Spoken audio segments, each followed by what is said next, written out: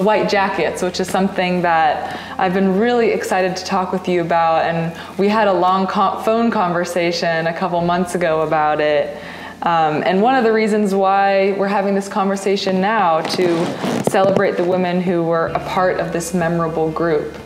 So, can you share a little bit about the history of the White Jackets and how a person became a part of this group?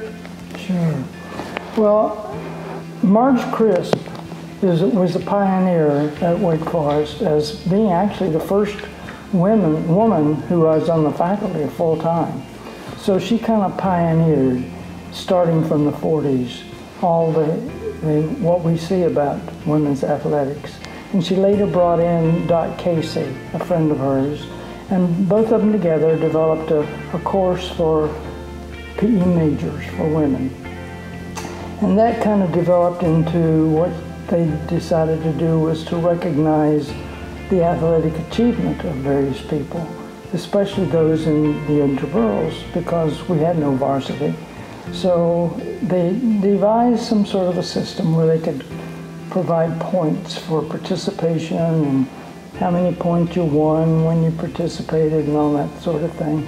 So through all that calculation, those who had the most points at the end of the year were awarded a white jacket.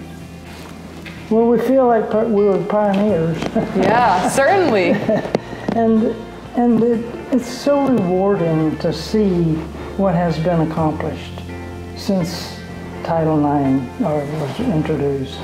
Of course, now when Title IX became law, it just didn't automatically, suddenly everything was accepted by the school because it took years to really implement incorporating good uh, sports here, our, our, athletics, I should say, here at Wake Forest.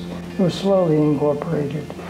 But uh, it just means so much that we're now we're seeing the escalation, the metamorphosis, so to speak, from where we were to what's happened now into, into ACC champions and NCAA champions. It's very rewarding. I'm going to transition us a little bit. You briefly mentioned Diane Daly, Dot Casey, Marge Crisp. Could you talk a little bit more about these women that you grew up with at Wake Forest? Diane Daly, I didn't know in college. Mm. I only met her when I came back. Yes, that's right. But uh, Crisp and Dot were became very good friends. I really enjoyed knowing them. They were so and so impactful in helping women develop, not just as students, but to really get involved and to study well and be, become leaders in the, in the institution. We, when you look back at the time, the women at Wake Forest in the 50s were less than 10% of the population of the enrollees.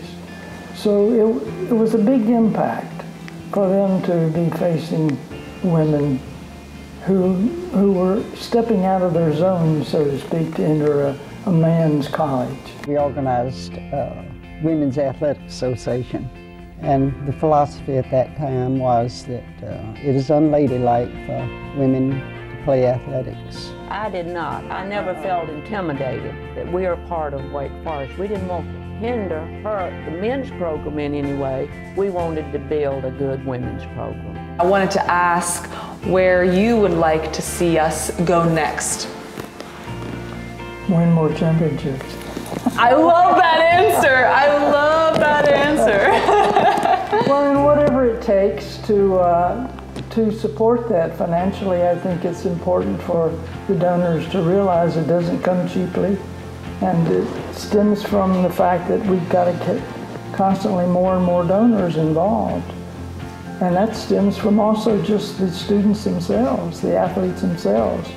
They need to, you know, be forward with their, their activities and their donations and their contributions. Because without their support, we are, we're not going to continue to progress. So I, I just think it's important to not stay stagnant, not hope that somebody else is going to be paying for it, because everybody's contribution works and helps sufficiently. I love that. Well, student athlete to student athlete, I thank you for sitting down with me today and just really sharing your story because it's really inspiring and um, I know it will inspire a lot of people who we'll watch this conversation in the future. So, thank you so much, Dr. Guth. Sure, my pleasure.